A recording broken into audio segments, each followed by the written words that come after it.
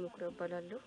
የጤና ኤክስቴንሽን ባለሙያ ነኝ። አሁን የምንገኘው በአማራ ክልል በምዕራብ ጎጃም ዞን በቡሬ ዙሪያ ወረዳ በሻኳ ቀበሌ በማሪታ ጎጥ ነው። የአካባቢያችን አርሶ አደሮች ከዚህ ቀደም በቆሎን ለተለያየ ምግብ ሲጠቀሙ ነበር። ሆኖም ግን ከአሁን በፊት የምንጠቀመው የበቆሎ ዝርያ በውስጡ ያለው ፕሮቲንና ንጥረ ነገር ብዙም አልነበረም። ስለሆነም ሰውነታችን የሚፈልገውን ፕሮቲን ወይም ንጥረ ነገር አያገኝም ነበር። ተጨማሪም አዘገጃጀትና አመጣጠኑ ግምታዊ ነበር። ሳሳካዋ ግሎባል ሁለት አልሚ በቆሎ ቅንጨ እንዴት እንደሚዘጋጅ ከሰለጠኑ ሴት አርሶ አደሮች ወይ የወይዘሮ የሽነሽ ከበደ ታሳየናለች።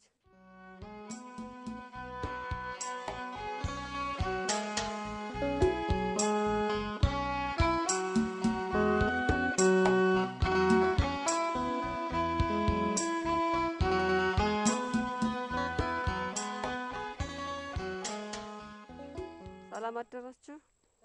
ሰላም ነው። ትየሽ ነሽ? እንዴት ነሽ? ደህና ነሽ? ሰላም ነሽ? ደህና ነን። ደህና አንቺ ደህና ነሽ?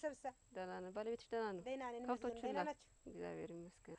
ዛሬስ ምን ግር ጣለሽ? አበባ አሁን የማ ዛሬ ይኸውልሽ የመጣሁበት ወይዘሮ የሽኖሽ በባለፈው ስልጠና ወስደሽ ነበረ። ወስጄበታለሁ። አዎ ከዛ አልሚ ከአልሚ በቆሎ ቅንጭ እንዴት እንደሚዘጋጅ ታሳይኝ እንድታሳይኝ ነው።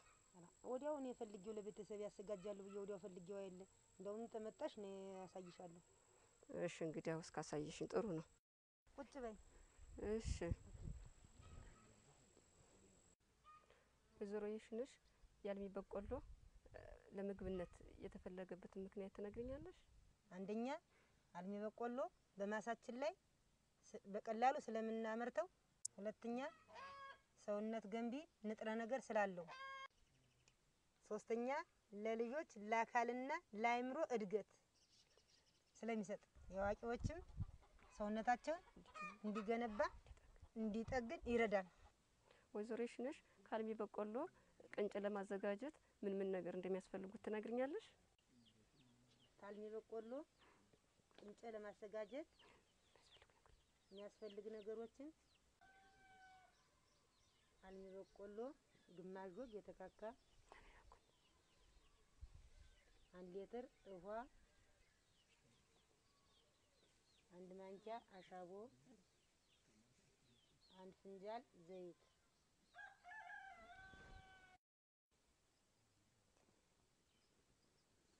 ከዚያ በኋላ ከተቀጣጠለ በኋላ ድስቱን ጥደዋለሁ።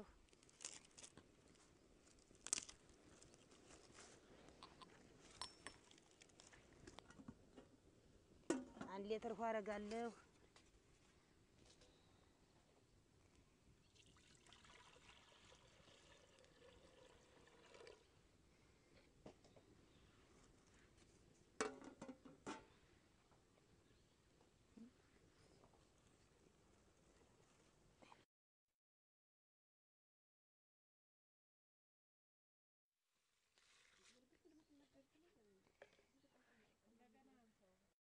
አልሚ በቆሎውን እያጠቡ ነው የተካካውን።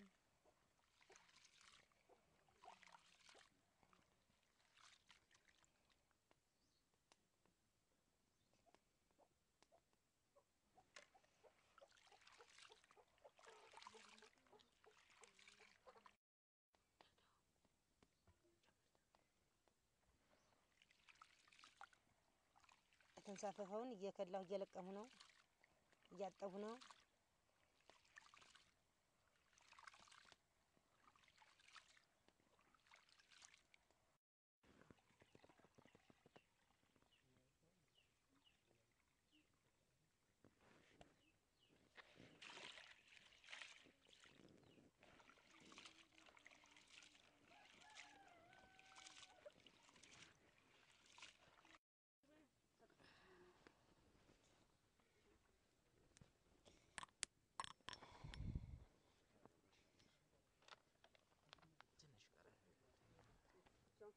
ሲፈላ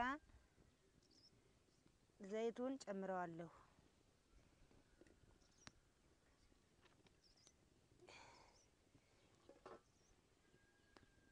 ከዚያ አንድ ማንኪያ ሻቦ አረጋለሁ። እዚያ የታጠበውን አልሚ በቆሎን አረጋለሁ።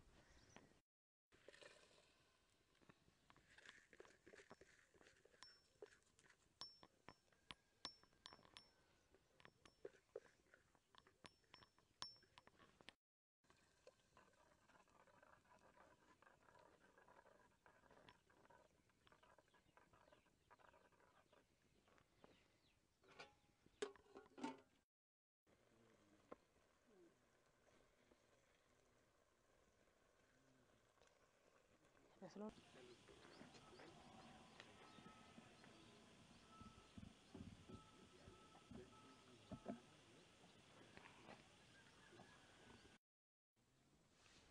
تسلو المسل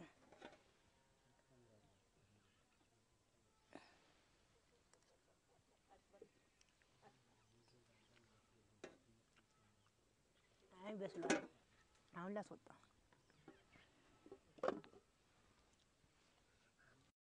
ላቀራርበው።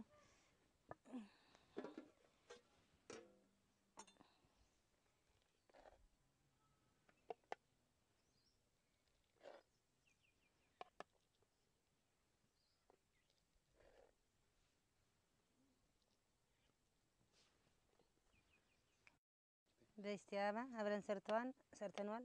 አብረን እንቅመሰው። እሺ ወይዘሮ ልንገርሽ እስቲ አበባ እሺ ቅመሽው አበባ የሰራነውን ቅንጨ ማለት እሺ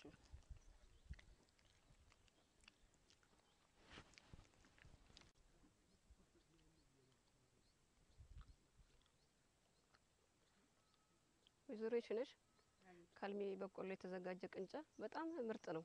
ይጥማል። አዎ በጣም ይጣፍጣል። ለቤተሰቦቻችን እንዲያደርግ ነው የምንመግብ ነው።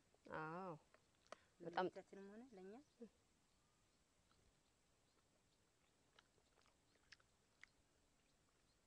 ጥሩ ቅንጫን አዘጋጅተሻል ወይዘሮ ይችነሽ።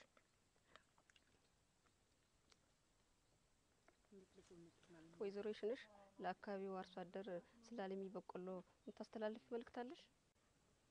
ለአካባቢዎች ለሚገኙት ለአርሶ አደሮች በተለይም ለእናቶች ይሄን አልሚ በቆሎ ቅንጨ ሰርተው ባሳየኋቸው መሰረት እንዲመገቡ መክራቸዋለሁ።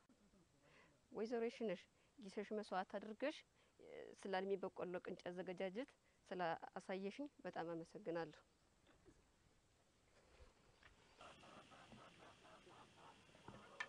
ተመልካቾቻችን ወይዘሮ ይሽነሽ ከበደ ከአልሚ በቆሎ ቅንጨ እንዴት እንደሚዘጋጅ አሳይታናለች። አልሚ በቆሎን ለምግብነት እንዲውል የመረጥንበት ምክንያት እንደተመለከታችሁት አልሚ በቆሎ ለሕፃናትም ሆነ ለአዋቂዎች ሰውነት ገንቢ ንጥረ ነገር ፕሮቲን ይዟል። ስለዚህ በአካባቢያችን ያላችሁ አርሶ አደሮች ከአልሚ በቆሎ ቅንጨ እያዘጋጃችሁ እንድትመገቡ እመክራለሁ።